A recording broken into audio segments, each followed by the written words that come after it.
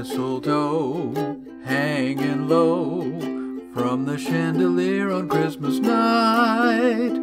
Mandy Snow and her beau seated there before the firelight. When he said, Summer's fled, no more spoon beneath the apple tree. Mandy sighed, then replied, the mistletoe is good enough for me. I'd rather be kissed neath the mistletoe bough than spoon under any old tree.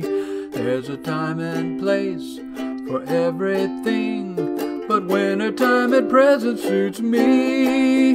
Forget all about the good old summertime and let's have a kissing bee. I'd rather be kissed neath the mistletoe bough than spoon under any old tree.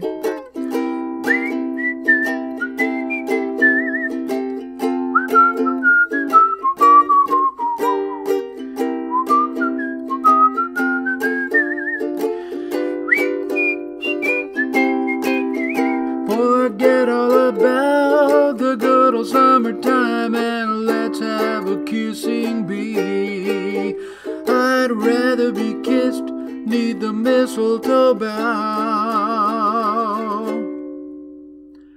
than spoon under any old tree.